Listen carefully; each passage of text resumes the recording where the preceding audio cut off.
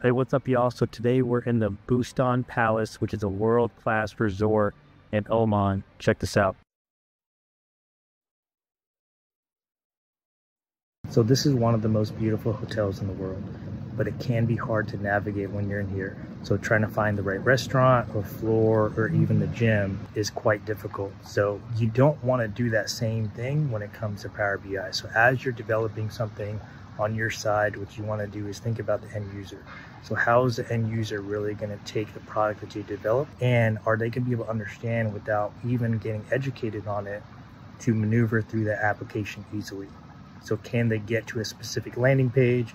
Can they get to a specific KPI or chart without even having some sort of training or class instruction on how to get there? And that's what I really want to offer you today is some just pro tips that you can do on your side as you're deploying and developing your products. So first up is going to be clearing filters and having slicers and filters available.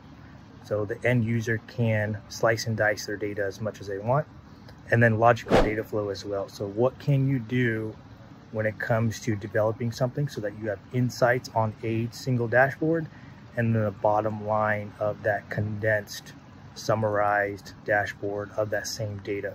And then keeping all those data points kind of consolidated into one single dashboard as well.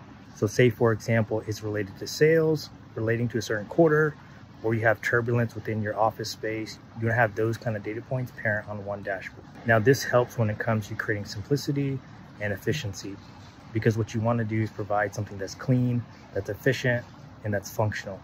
Because at the end of the day, the customer is really the person that's gonna be using the product, not you as a developer. So you wanna ensure that what you're deploying is really meant for them and they can understand how to use it even without being spoken to about the product. So hopefully this helps you out. Let me know your thoughts down below and thanks for watching y'all.